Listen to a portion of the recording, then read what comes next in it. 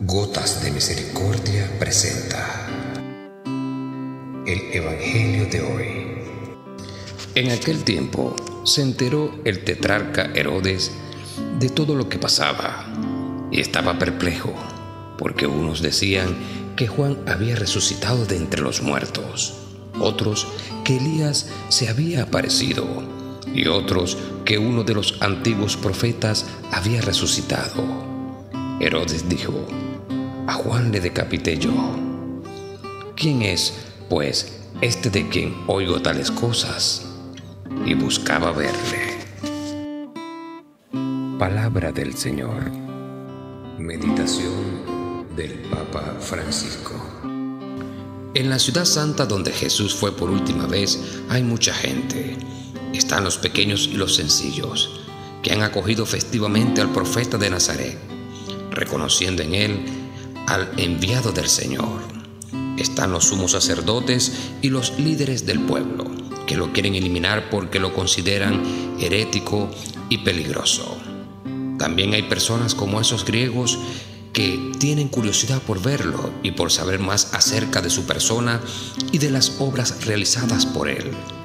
La última de las cuales, la resurrección de Lázaro, causó mucha sensación. Queremos ver a Jesús. Estas palabras, al igual que muchas otras en los Evangelios, van más allá del episodio particular y expresan algo universal.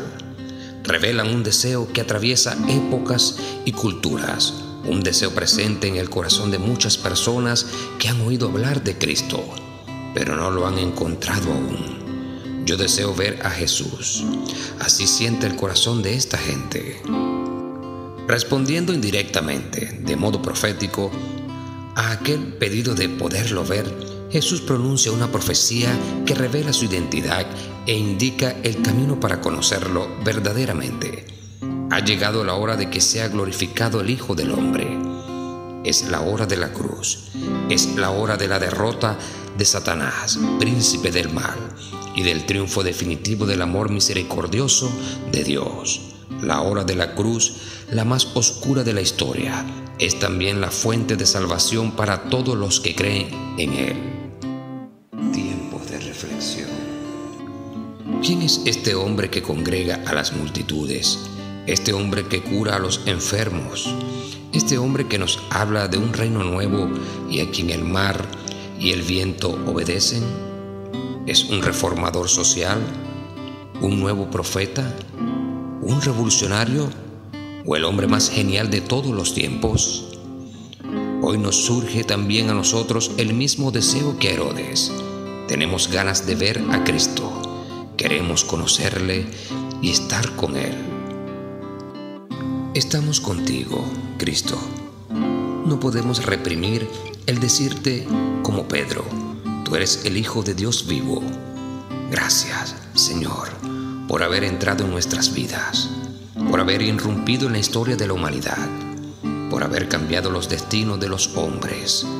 Lo mismo que la historia se cuenta ahora a partir de tu nacimiento, queremos también que nuestras vidas se cuenten a partir de este encuentro contigo.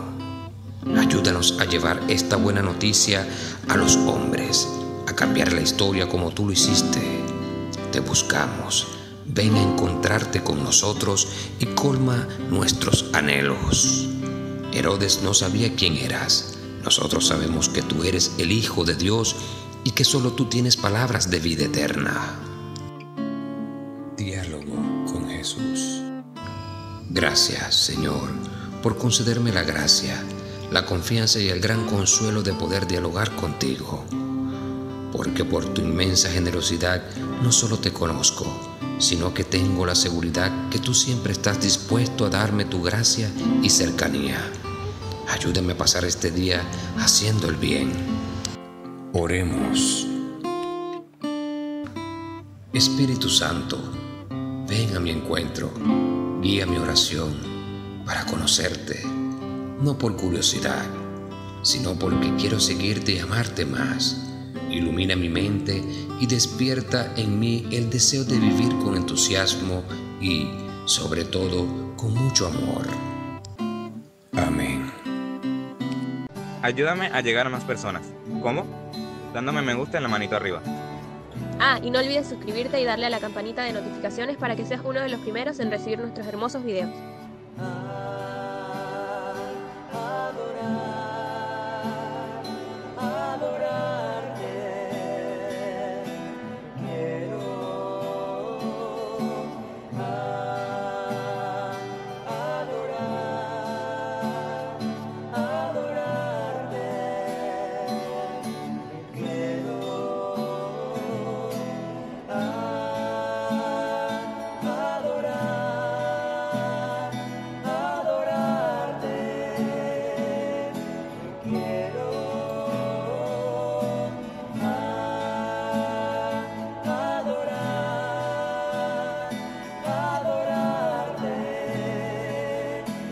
Yeah.